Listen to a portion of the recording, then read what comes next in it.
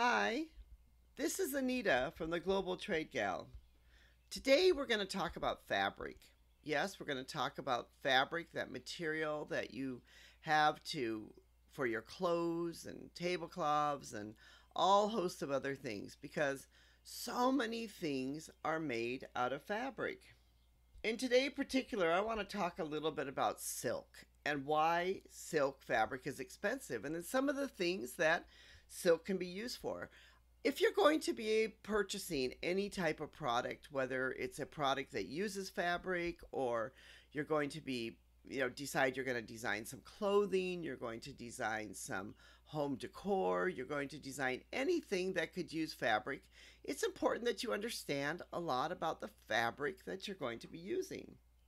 And today I'm going to talk a little bit about silk, just because I really love silk, and I think silk is quite an interesting fabric.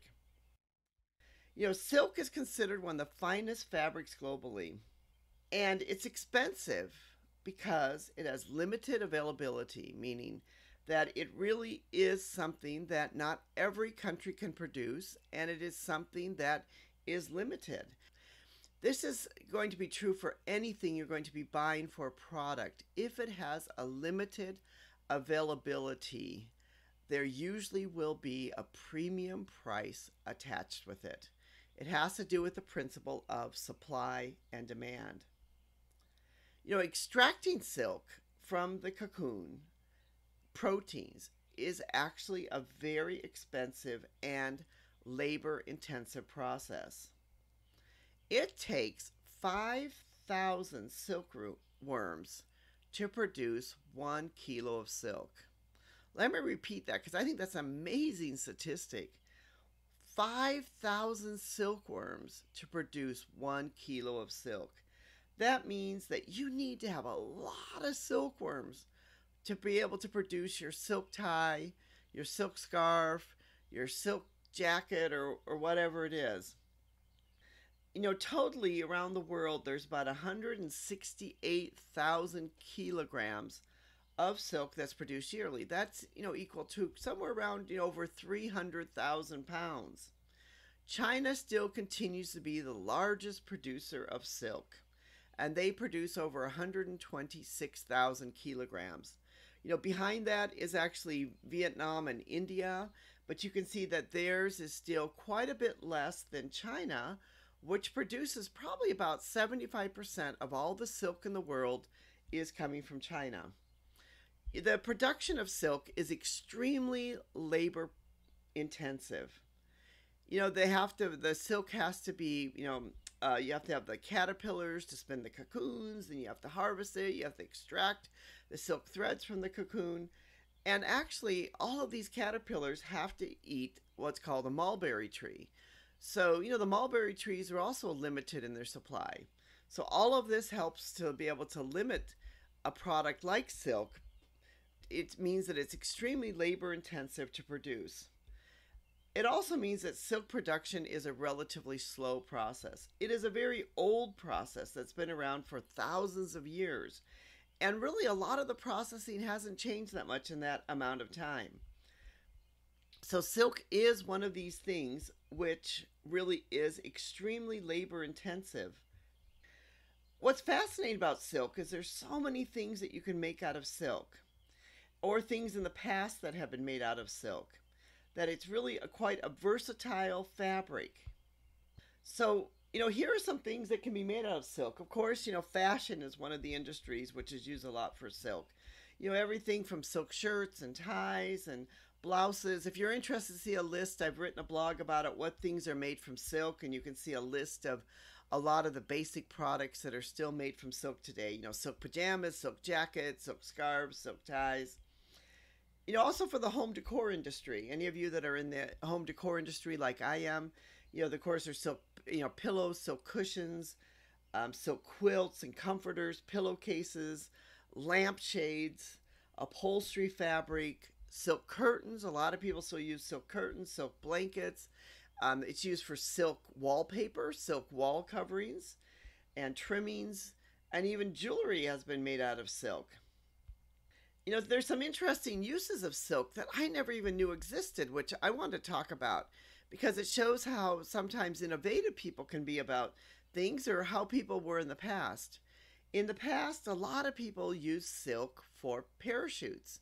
And the reason why they used silk was because silk was a lightweight fabric and it was extremely strong. Of course, today the parachutes are made of nylon, but in the past, you know, silk was used to be able to make parachutes. Silk was also used for gunpowder bags. I had no idea about this. But the reason was is because when you had the gunpowder for the bullets, you know, you didn't want to have it in your pocket. You didn't want to have it in some other bags that that you know could have problems. So they'd put gunpowder in these small little silk uh, pouches so that the gunpowder wouldn't rub together and explode. So it was used as a way to be able to protect the gunpowder. Today, silk is being used in bike tires. You know, for a long time, bike tires have been using cotton, but there's been um, some silk has been used for these casings of high end, um, you know, track tubular tires for the racing bikes. And several of the people that have used these have said that they really love silk because silk has made for a lot smoother ride than the cotton ones. I find this fascinating because I myself am a cyclist and I enjoy cycling. And I had no idea that there were bicycle tires that are really considered premium bicycle tires again, but because they're more expensive than, of course, the other variety. But there are many of the professional bike racers now who have been saying that they prefer to have the silk tires. Because I'm a lover of history, I want to also tell a little history or, or something that I find fascinating about silk. And if anyone has been to Thailand, you need to stop by and you need to see the Jim Thompson house there. And Jim Thompson came to Thailand in the 40s, I think it was during World War II. And, you know, he was sort of a bit of a um, he was a creative person. He'd been an architect, and he began to see the silk weavers there in Bangkok, and he started to design fabrics for them and began to say, "Hey, I think the fashion houses in New York would be interested in this," and they were. And so he built up quite a, a very good silk business there.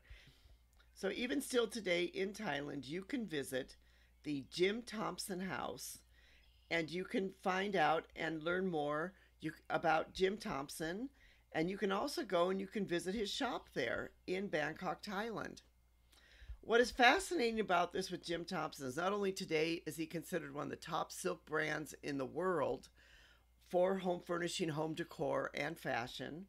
And not only does he have many great designs that are still being used today, but in the 1960s, Jim Thompson disappeared from the highlands in Malaysia and he was never found. His body was never found and nobody knows exactly what happened to him.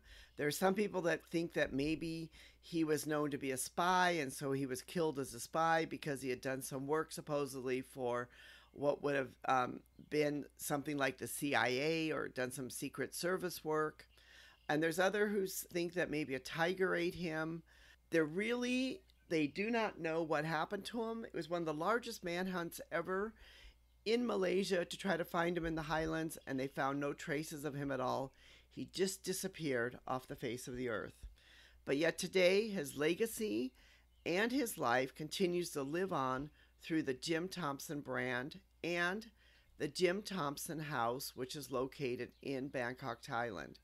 So if you happen to go visit Bangkok, Thailand, do stop into the Jim Thompson shop, which is still on Surawong Road and look at the amazing silk products that are being manufactured there.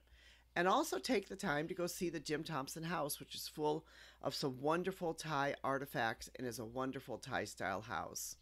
His legacy of silk continues to live on through the Jim Thompson brand. Well, this is Anita from the Global Trade Gal. We hope you've enjoyed a little bit of this information about a product known as silk. If you enjoyed this, look at the link below and look at some of our recent uh, blogs that we've written about silk. Also, tell your friends about us, subscribe to our podcast. We'd love to have you be part of our community. We'd love to have you join with us. And we really also appreciate you for listening. Thank you so much for listening and being part of our community. We truly do appreciate you.